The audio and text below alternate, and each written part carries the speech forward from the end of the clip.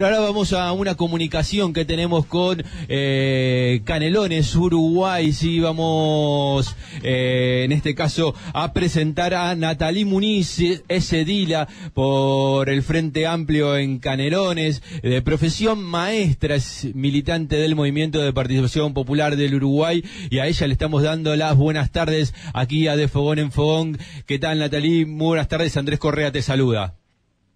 Hola Andrés, un gusto estar conversando con ustedes y con su audiencia. Saludos a todos. Ahí está. Bueno, eh, obviamente una semana donde Canelones fue noticia, sí, en muchos sentidos. Eh, Natalie, te voy a invitar a escuchar un informe que hizo la producción de, de Fogón en Fogón antes de meternos eh, en sí en el tema que vamos a tratar. ¿Te parece? Genial, dale. Ahí está. Escuchamos entonces el informe que preparó de Fogón en Fogón eh, para contextualizar de algún modo eh, el tema de eh, Canelones, fideicomiso. Lo escuchamos. En julio del año pasado, el intendente de Canelones, Yamandu Orsi, buscó aprobar un fideicomiso por 80 millones de dólares, pero la propuesta fracasó en la Junta porque no obtuvo los votos extras de la coalición de los partidos de gobierno que se precisaban.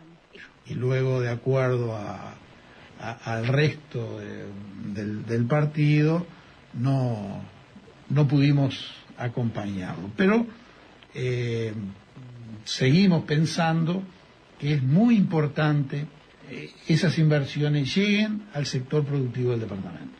Esta vez el voto de un edil blanco rompió ese acuerdo interno de la coalición y en la noche de este martes la Junta terminó aprobando un nuevo fideicomiso para la Intendencia de Canelones, pero esta vez por 44 millones de dólares.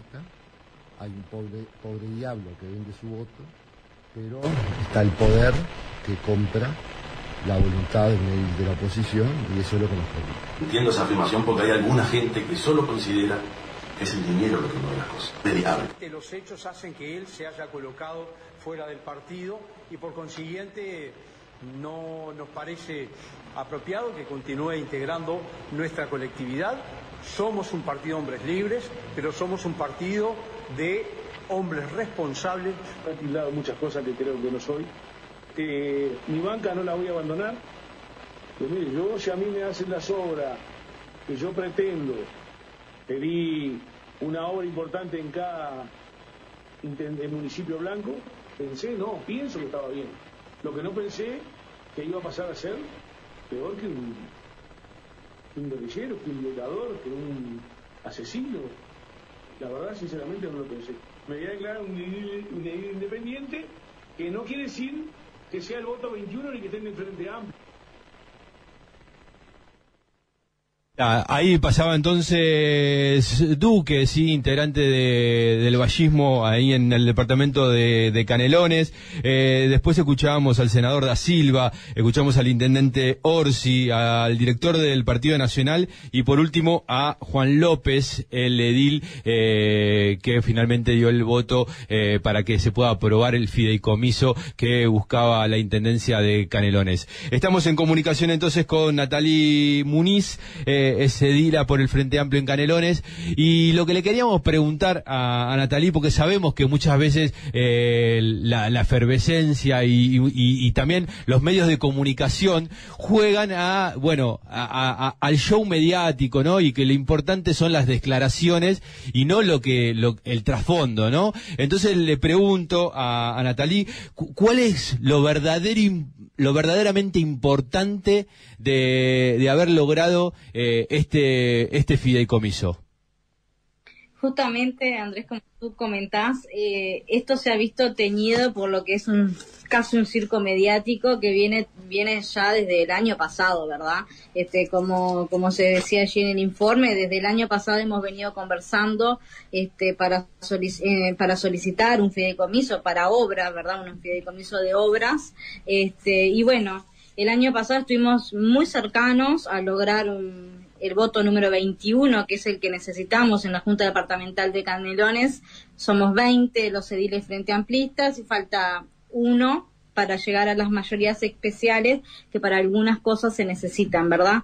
Este, y bueno, eh, ha pasado mucha cosa. El año pasado supimos de primera mano de parte de los ediles del Partido Nacional que que había sido el Poder Ejecutivo, el presidente, a, de, a mano del secretario general, este, que había indicado directamente a los ediles del Partido Nacional y del Partido Colorado que no apoyaran este fideicomiso y ha roto con lo que ha sido casi 20 años de tender puentes en, en lo que es la cultura de, de la Intendencia de Canelones dentro de la Junta Departamental. Y eso es lo que nos sorprende notoriamente porque Evidentemente el Partido Nacional está en campaña permanentemente y está haciendo un juego casi electoral en este momento que ya no hay elecciones y bueno, sabemos que Yamandu Orsi es un posible candidato a la presidencia en el próximo periodo y me parece que este, la idea es trancar lo que se está haciendo en Canelones, porque eso es realmente lo que sucede cuando no se vota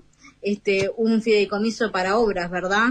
Este, se está negando que hayan eh, obras en los 30 municipios de Canelones, este, obras de infraestructura, obras de calles, obras de eh, arquitectura. Y bueno, entonces celebramos que este edil haya podido poner eh, sobre lo, lo más importante que es la gente del territorio y no este ese plan político electoral, digamos, que es el que están planteando claramente porque no hay otra justificación.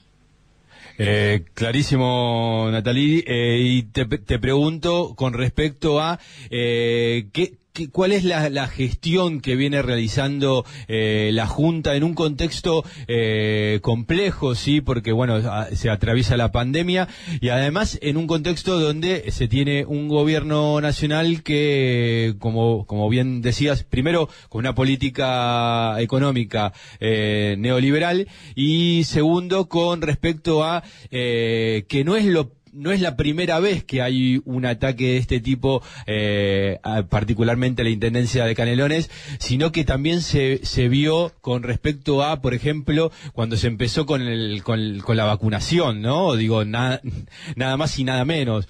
Eh, y creo que hay alguna otra cosa que me estoy olvidando en este momento, pero digo, eh, son dos cosas bastante significativas. Digo, en este contexto, la Junta, ¿qué es lo que viene pudiendo realizar? Bueno, en realidad, eh, si lo que tú decías, es lo de la vacunación, fue muy real. Fuimos uno de los últimos departamentos que tuvimos acceso a las vacunas y además, este, lo que capaz que te decías tú que te olvidabas era el, fondo metropolitano, que eran ah. unos dineros que estaban este, destinados a canelones y que no los tenemos. Entonces, realmente, muy claramente, la idea es este, poder lograr este, que canelones tenga menor cantidad de dinero y que pueda llegar a un 2025 con menor cantidad de de, avance, digamos, pero bueno, nosotros hemos seguido trabajando y eso es lo que hemos eh, ido logrando este, avanzar. Este, la Junta Departamental ha venido trabajando en conjunto con la Intendencia de Canelones en muchos aspectos. Por ejemplo, se está trabajando en lo que fue la pandemia, se trabajó muchísimo con esto que tú nombrabas de la vacunación. Eh, la Intendencia de Canelones y la Junta estuvo aportando en, todo lo que tenía que ver con la logística para poder este, aumentar la cantidad de, de vacunatorios, etcétera. Después se trabajó con el tema de las canastas, este, poder apoyar este, económicamente a, los vecinos y las vecinas de Canelones. Ahora hay un plan que se llama Jornales Solidarios que se está trabajando en todo el en todo el país en realidad, pero las intendencias eh, aportan bastante y bueno, la intendencia de Canelones también. Y bueno, y este fideicomiso puntual, este, más allá de que tenga que ver, son 44 millones, como bien decían, de los cuales 30 millones son, van a estar destinados específicamente a lo que tiene que ver con obras de consolidación barrial. ¿verdad? Este, ustedes sabrán que Canelones es un, un departamento bastante grande, con mucha variedad de, de, zonas, eh, tenemos parte de playa, parte rural, parte más urbana, y bueno, la idea es como ir atendiendo todas estas zonas y potenciar el desarrollo del, departamento a través de lo que es la inversión pública en infraestructura, ¿verdad? Que eso directamente mueve la economía, potencia el trabajo, genera más trabajo en la, en la población, este, y bueno, y aparte, eh, bien enfocado con una mirada, este, que tiene que ver también con conectar a, a, las distintas localidades para que pueda aumentar también la producción, ¿verdad? Que puedan haber entre, en la zona más productiva, en la zona de campo, que puedan haber mejores caminos que puedan transitar para que haya más trabajo y que la gente pueda producir mejor. O sea que en realidad, además de lo concreto en infraestructura que se logra con este fideicomiso, también estamos potenciando lo que es la mejor calidad de vida de los canarios y las canarias. Y justamente en eso, dentro de, estos dineros está destinado este, un millón de dólares a lo que es eh, la adquisición de vehículos para traslado de personas con discapacidad.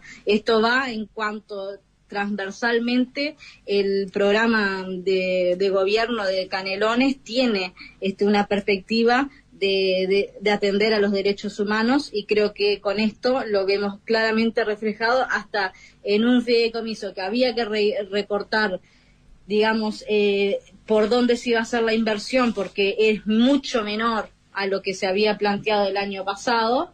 Sin embargo, este, la Intendencia igualmente sigue teniendo en cuenta estos aspectos que para nosotros son fundamentales, como también, por ejemplo, lo que tiene que ver con la, con la, formación de espacio público, digamos que es en algunos eh, en algunas localidades del departamento generar espacios que apoyan a aportan a la convivencia, ¿verdad? Este, plazas, eh, centros culturales, lugares que tengan que ver con el, deporte, gimnasios destinados a distintas este, cosas específicas. Así que bueno, un poco es como eso. Y tener en cuenta también que las cosas que, que realmente son fundamentales para la gente, ¿verdad?